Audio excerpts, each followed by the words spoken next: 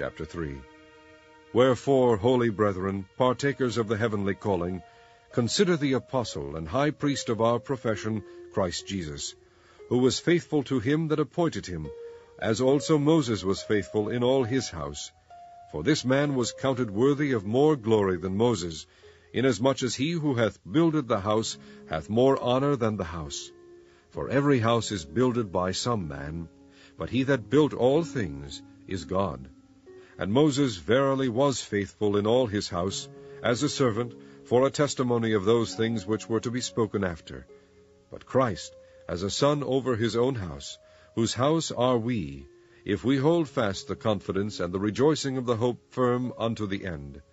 Wherefore, as the Holy Ghost saith, Today, if ye will hear his voice, harden not your hearts, as in the provocation, in the day of temptation, in the wilderness, when your fathers tempted me, proved me, and saw my works forty years. Wherefore I was grieved with that generation, and said, They do alway err in their heart, and they have not known my ways. So I swear in my wrath, They shall not enter into my rest.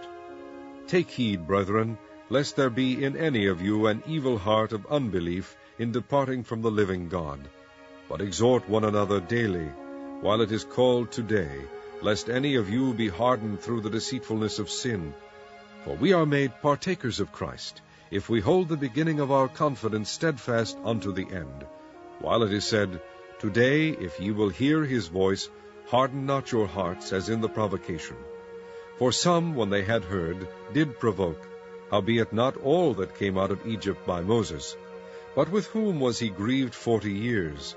Was it not with them that had sinned, whose carcasses fell in the wilderness?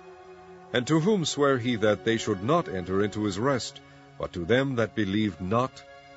So we see that they could not enter in because of unbelief.